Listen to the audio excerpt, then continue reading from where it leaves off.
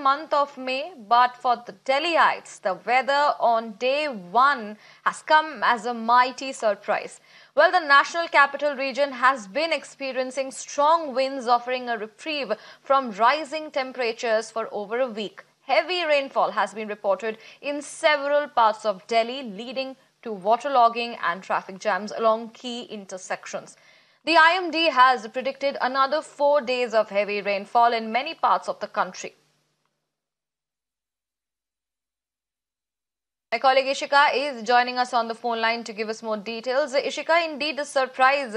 The weather has become uh, just like monsoon in the month of May. First day of the summers, Delhiites are, uh, you know, witnessing rains. What do you have to say?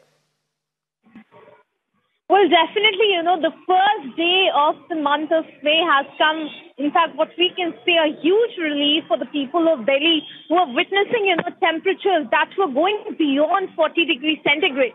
Definitely, you know, the people here were very happy because right now, if you if you come out of your, you know, homes, you see that the weather right now is what the uh, what the people of Delhi will call, you know, good because you know it has rained here and it has rained in uh, various parts of the city and it has brought down the temperatures and as you rightly mentioned the IMD has predicted that you know this rainfall will be continuing for the for uh, you know for more 5 days so definitely that will give some respite to the people here from, you know, the temperatures here. But this also brings here the problem of water logging.